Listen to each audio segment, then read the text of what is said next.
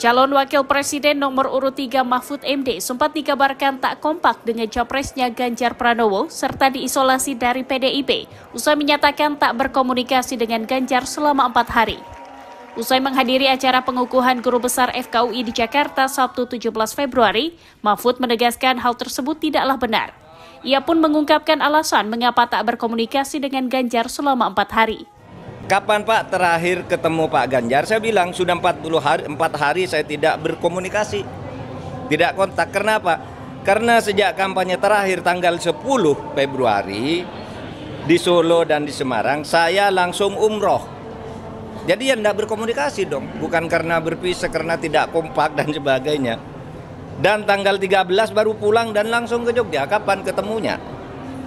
Untuk mencoblos. Usai umroh, Mahfud MD dan Ganjar pun telah kembali menjalin komunikasi yang baik.